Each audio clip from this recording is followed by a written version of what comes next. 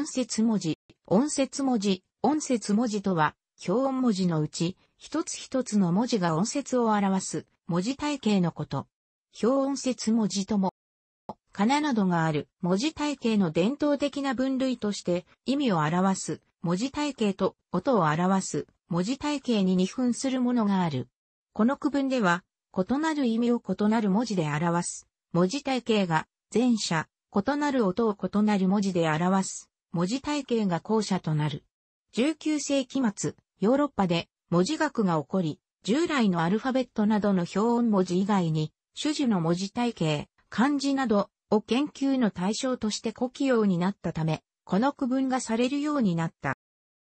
しかし、この二つの類型に当てはめにくいものもあった。文字体系を、標語的体系、音節的体系、アルファベット的体系の三類型に、初めて区分したのは、インド系文字の研究者である。この区分では、今日のアブギダ、死因の字母に特定の母音が結びついている、表音文字体系。母音だけが異なる音節は、死因の字母に補助的な符号を付加するなどしてすが、音節的な文字体系となる。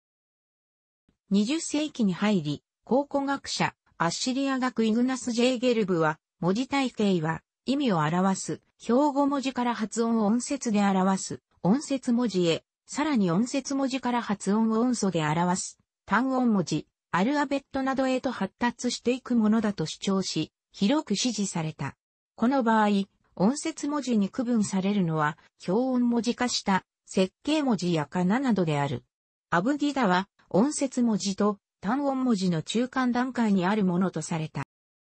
その後、考古学の発展によって、アブギダとアルファベットは共に、アブジャド、死因のみを文字として綴る、表音文字体系から発展してきたことが明らかになってきた。これら三つは、文字が音素を表すことから、音素文字と総称され、文字が音節を表す、音節文字とは区別される。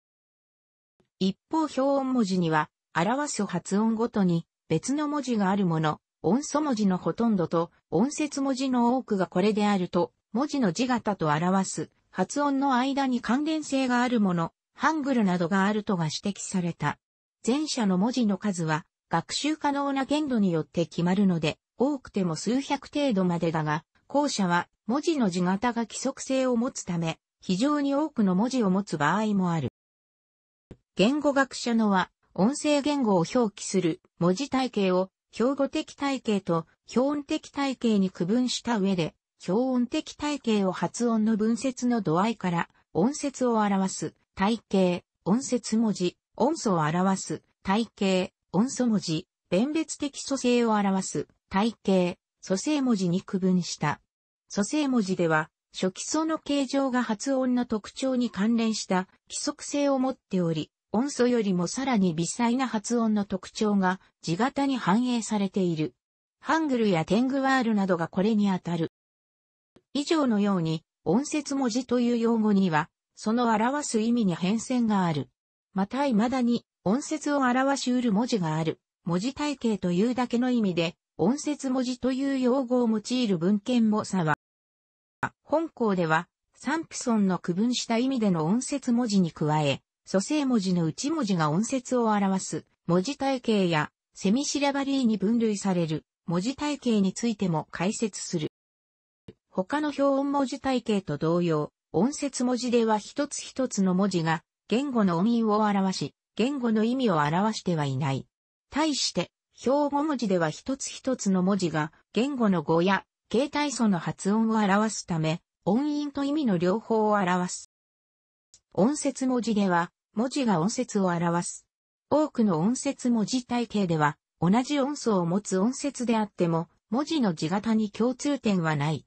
例えば、ひらがなの、かは、子音を同じくする、き、く、け、こ、あるいは母音を同じくする、あ、さ、た、な、は、ま、や、ら、わなどとは共通点がない。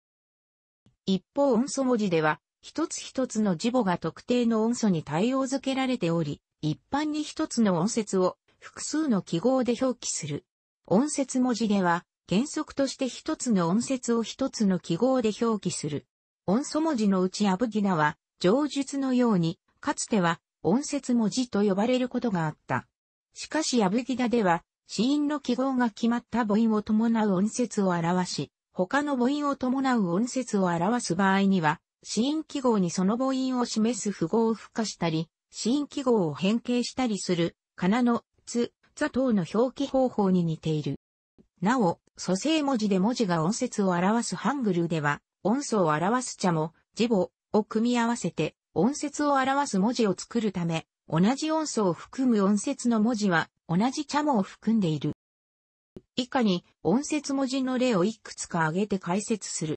規範常文は中国の遺族の常語の表記に用いられる。これらの文字体系は常文字の一種で、かつては標語文字としても用いられたが、1970年代頃から各地の常語方言を表記する音節文字として、正しかが進められた。四川の規範常文である量産規範常文は、成長も含めた異なる音節をの々別の文字で表す、神聖の音節文字である。文字の数は800余りで、表し得る音節の数もこれに等しい。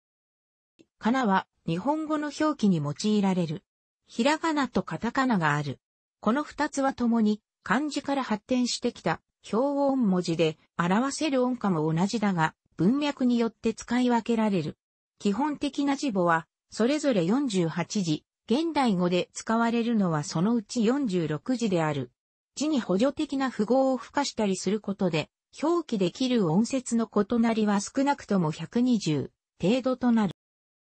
濁音と半濁音は基本となる字に補助的な符号を付加して表す。半母音を含む音節、陽音と呼ばれるは引く母音の音節の文字を小書きに変形した文字を添えて、表す外来語の表記などでは、その他の半母音や日本語にない母音を含む音節を表すために、他の小書き文字を使うこともある。特殊な文字として、正門閉鎖音、時に直後の子音の長子音化を表す。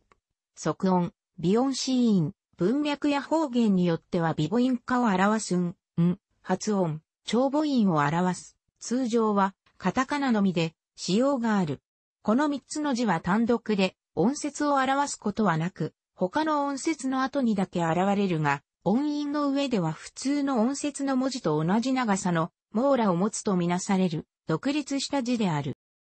カタカナはまた、アイヌ語の表記にも用いられる。ひらがなやカタカナにはもともと開け音節、シーン母音の組み合わせ、または母音のみの音節を表す文字しかない。アイヌ語には平音節、シーン母音シーン、または母音シーンの組み合わせの音節もあるため、音節末シーンを表す字として、小書きに変形した字をさらにいくつか用いる。